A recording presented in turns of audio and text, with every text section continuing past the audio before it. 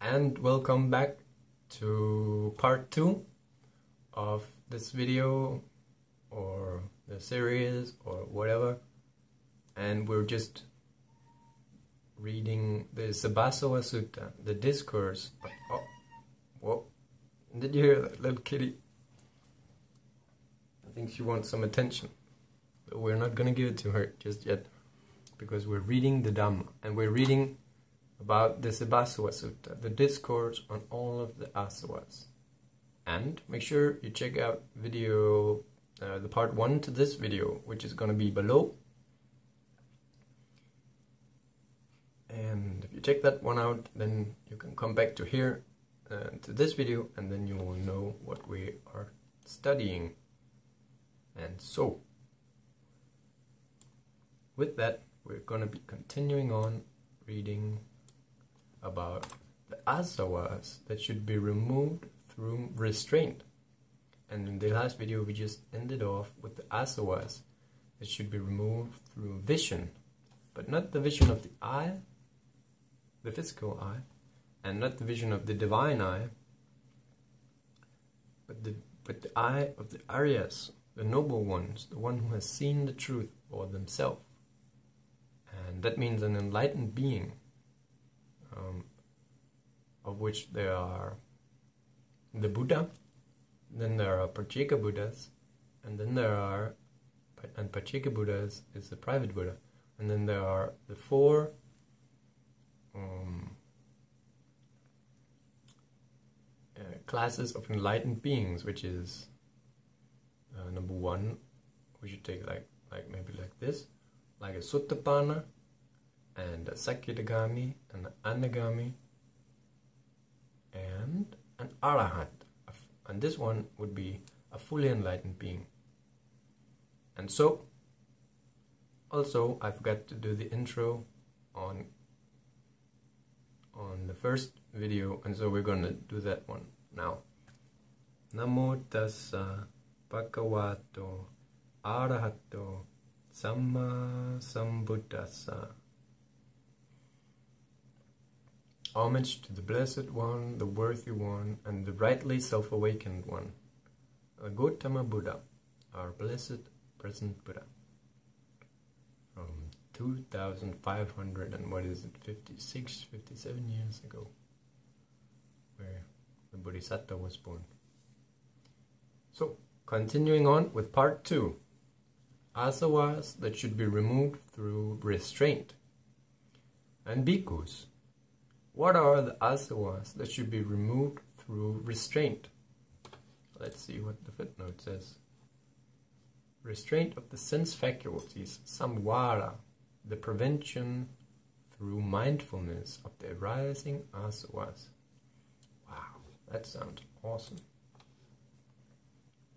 Bhikkhus, in this teaching, the bhikkhu reflecting probably, properly, reflecting properly, abides in the restraint of his faculty of sight. Asavas and other destructive and burning defilements may arise in the bhikkhu who does not abide in the restraint of his faculty of sight with proper reflection. And there was footnote 24. And that says sasana. And that means the teaching, the sasana. And we today we still have the Buddha sasana, um, and that means that the doors to the deathless or the opportunity of becoming enlightened is still around for a little while. And so, the Buddha Sasana is alive. Sasana teaching, uh, which is the Dhamma. The Dhamma is still accessible.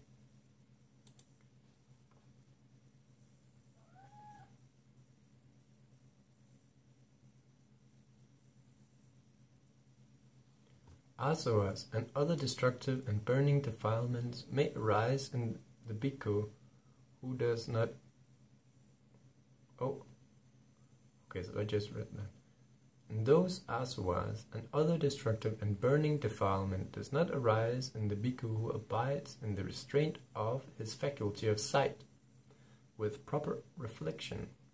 Reflecting properly, the bhikkhu abides in the restraint of his faculty of hearing, abides in the restraint of his faculty of smell, abides in the restraint of his faculty of taste, abides in the restraint of his faculty of touch, abides in the restraint of uh, abides in the restraint of his faculty of thought. And there was a footnote number 25. Let's see what it says. Faculty of sight. Eye faculty. And then all the way through the six senses, ending with thought. But this, what I'm reading right now, it just says faculty of sight, eye faculty, so with the other sense faculties. Okay. And asavas and other destructive and burning defilements may arise in the bhikkhu who doesn't who does not abide in the restraint of his faculty of thought with proper reflection. Those asavas who those asavas and other destructive and burning defilements does not arise in the bhikkhu who abides in the restraint of his faculty of thought with proper reflection. And bhikkhus, asavas, and other destructive and burning defilements may arise in the bhikkhu who does not abide in the restraint of his faculties with proper reflection. Those asavas and other destructive and burning defilements does not arise in the bhikkhu who abides in the restraint of his faculties with proper reflection.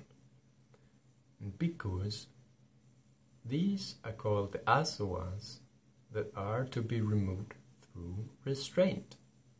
So we have now we have asavas that are removed through vision and asavas that are removed through restraint. Now, continuing on, asavas, which is the Pali word for fermentations or defilements, asavas that should be removed through proper use of requisites. So this is removing through using. In other words,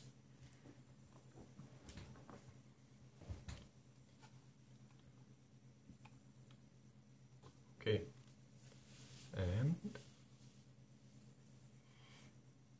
number 23. Bhikkhus, what are the asavas that are to be removed through proper use? And then that's footnote number 26. Proper use, using four requisites of a bhikkhu with due reflection. What is taught here is the mode of using four requisites in such a manner that the arising of the asavas is inhibited. So, this is using uh, the requisites for the purpose of inhibiting the arising of already arisen asavas and asavas that has not yet arisen through using. And this is important, like using your mind. That's very important for any attentive audio. Audio. Bhikkhus. In this teaching, the bhikkhus wear wears the robe. I'm sorry. Bhikkhus. In this teaching, the bhikkhus wears the robes reflecting properly. He wears the robes only for protection from cold, heat, gadflies, mosquitoes, wind, heat of the sun, and snakes, scorpions, and lice, and just to cover up his nakedness. Reflecting properly, he takes alms food. He does not he does so not for enjoyment, not for vanity, not for improvement of the body, not for better complexion, but only to sustain the physical body, to have just enough nourishment for maintaining life, to appease hunger, and to carry out the noble practice of purity. He reflects thus, or she, by this alms food, I shall remove the existing discomfort and shall prevent the arising of new discomfort. I shall, I shall have just enough nourishment to maintain life and to lead a blameless life with good health. And we have two footnotes, number 27 and number 28. I'm really into footnotes. Okay, so number 27 says existing discomfort, such as hunger, and new discomfort, uh, discomfort from immoderate eating.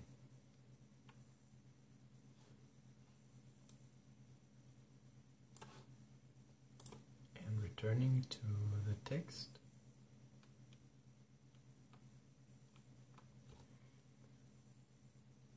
We were just reading about asavas that should be removed through use, through using.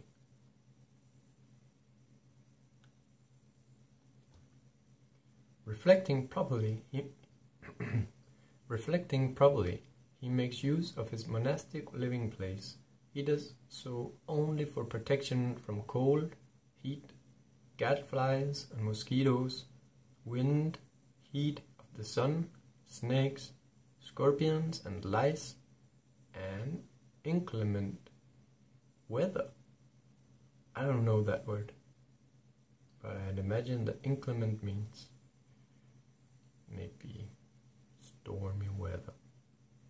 And for the purpose of solitary seclusion, I'm gonna be learning what does inclement mean. Inclement. Hmm. So it means of the weather elements severe, rough, or harsh, stormy. So I pretty much got that all right.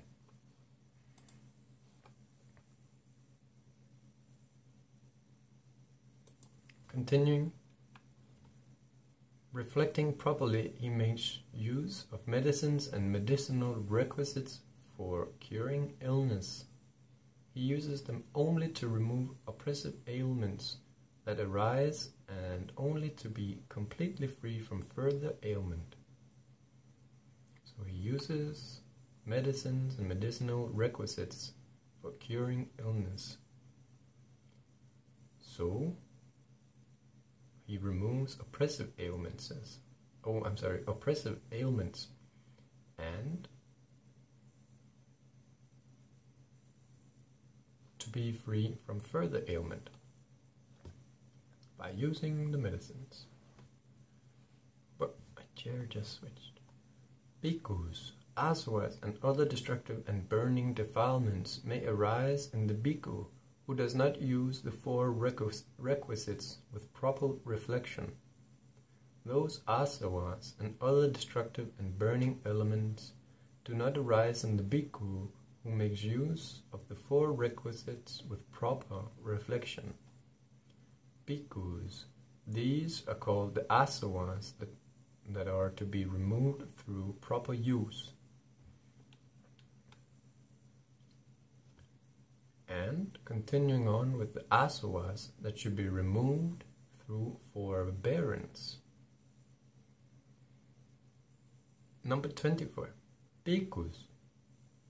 Bhikkhus. What are the asavas that are to be removed through forbearance. And for me, I have like, I'm gonna have to like forbear when I cannot pronounce the words and I don't know what means inclement. And so I'm gonna have to forbear with my own ignorance in the language, in the English language. Forbearance is an awesome quality to remove asavas. Bhikkhus. This teaching, the bhikkhu reflecting properly, can endure cold, heat, hunger, thirst, gadflies, mosquitoes, wind, heat of the sun, snakes, scorpions, and lice. He can endure ill spoken and unwholesome words. He has the nature of being able to endure severe, cruel, excruciatingly sharp, disagreeable, unpleasant, deadly, and painful sensations which arise in the body. And bhikkhus, asavas, asavas, and other destructive and burning defilements may arise in the bhikkhu who cannot. I'm sorry, I'm just gonna have to let the cat out. Just a second. Gonna pause this video. Okay, so we're back. And I hope the cat won't make any sounds. Because she just got a little bit of attention. And so, continuing on with the, the that should be removed through forbearance. Bhikkhus. Asavas and other destructive and burning defilements may arise in the bhikkhu who does not endure such painful sensations. Those asavas and other destructive and burning defilements do not arise in the bhikkhu who endures such painful sensations with proper reflection. Bhikkhus. These are called the five these are called the asavas that are removed through forbearance.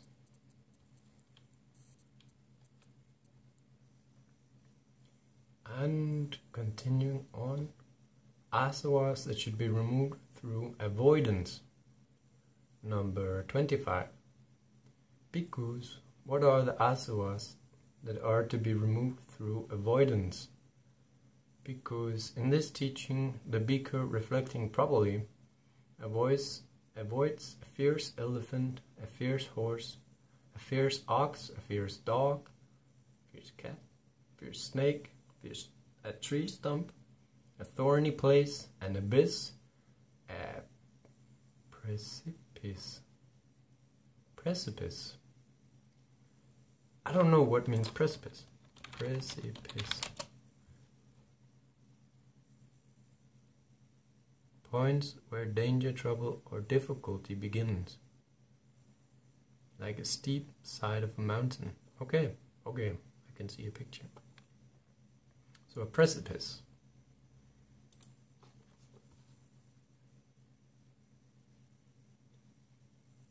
An abyss, a precipice, a refuse pit, and a cesspool. Refuse pit and a cesspool. If a bhikkhu dwells in such an improper place, resorts to such improper resort, and keeps company with evil friends, his wives and fellow bhikkhus would suspect him of involving himself in evil circumstances. Reflecting properly, he avoids improper places, improper resorts, and evil friends. Through avoidance. I'm gonna avoid this little kitty taking up our attention. Just put her down on the ground. And okay, so a little bit distracted by the kitty should avoid happening in the future. Maybe we should let her outside. Okay, back to the text. Bhikkhus, asavas, and other destructive and burning defilements may arise in the bhikkhu who does not avoid such improp, improp, improprieties with proper reflection. Those asavas and other destructive burning defilements do not arise in the bhikkhu who avoids such improprieties, improprieties with proper reflection. In bhikkhus, these are called the asavas that are to be removed through avoidance.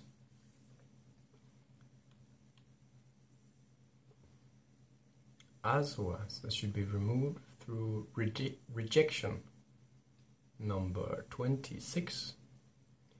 Bhikkhus, what are the asavas that are to be removed through rejection? There's a footnote, number 29. Rejection vinodana, dispelling with effort such arising thoughts, vitakas, as kamma vitaka. It does not mean total eradication through magga.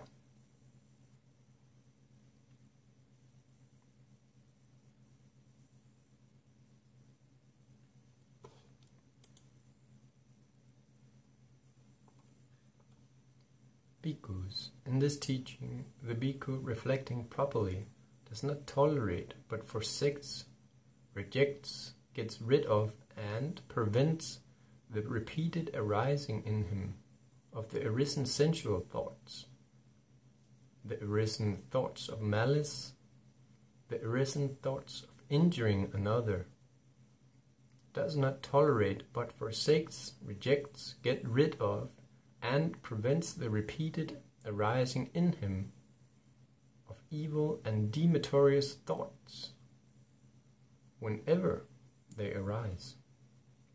And we have some footnotes from number 30 to 32. And number 30 says sensual thoughts in the Pali word, the language of the Buddha, the Vitaka. And 31 thoughts of malice Vyapara Vitaka. And number 32, thoughts of injuring another. Vihimsa, vihimsa Vitaka.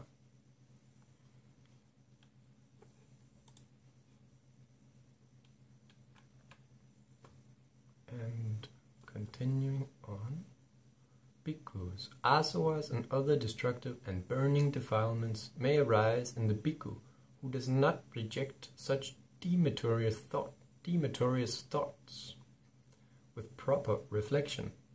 Those asavas and other destructive and burning defilements does not arise in the bhikkhu who reject such deleterious thoughts with proper reflection. Bhikkhus, these are called the asavas that are to be removed through rejection.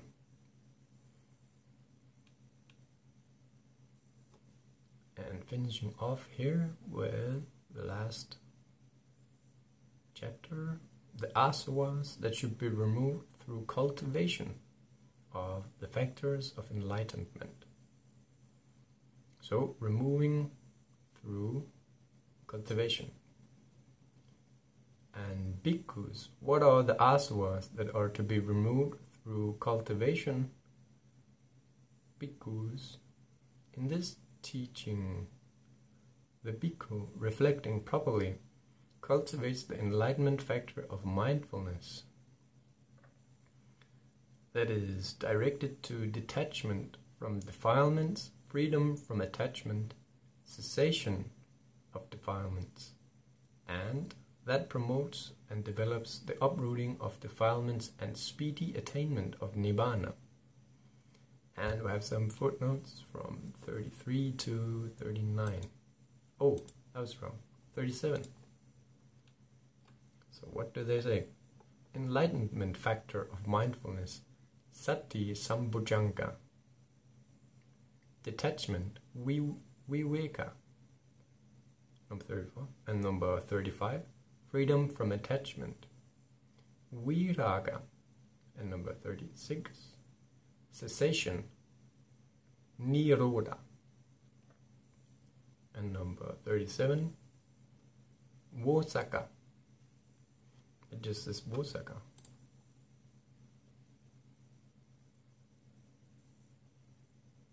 Hmm. Seems a little bit strange. I don't know that word. Anyway, continuing there. Reflecting properly, he cultivates the enlightenment factor of investigative knowledge of phenomena, cultivates the enlightenment factor of effort, cultivates the enlightenment factor of delightful satisfaction, uh, cultivates the enlightenment factor of serenity, cultivates the enlightenment factor of concentration, he cultivates the enlightenment factor of equanimity, or chi, that is directed to detachment from defilements, freedom from attachment, cessation of defilements, and that promotes and develops the uprooting of defilements and speedy attainment of Nibbana. So we have footnotes from 38 to 44, and let's see.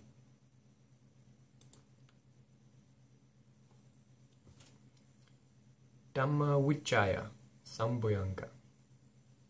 Okay, so these are just Pali terms for en the enlightenment factors. We can hear those. Virya Sambhujanga. Virya means energy or effort. Piti Sambhujanga. Piti means joy. Pasati, Pasati Sambhujanga. Number 41 Pasati. Let's see. That, might, that must be serenity. And Samadhi Sambhujanga. Samadhi is concentration. Upekkha Sambhujanga. Upekkha is equanimity. And oh, okay, number 44. This is a long one. The most crucial point in is the practice of the four satipatthanas, the four foundations of mindfulness body, feelings, thoughts, and dhammas. I mean, roughly put, it is the one and only way for the attainment of maggas and phalas, and also for the realization of nibbana. Maggas is the paths, and phalas is the fruit.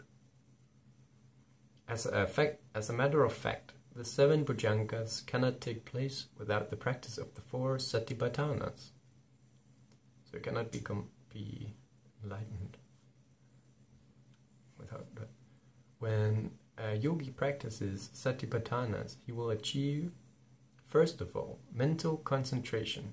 When it becomes sufficiently strong, he will achieve uh, stage by stage, third, uh, 13 vipassana jnanas, insights, which will enable him to perceive the true nature of mind and body before he achieves the maggas.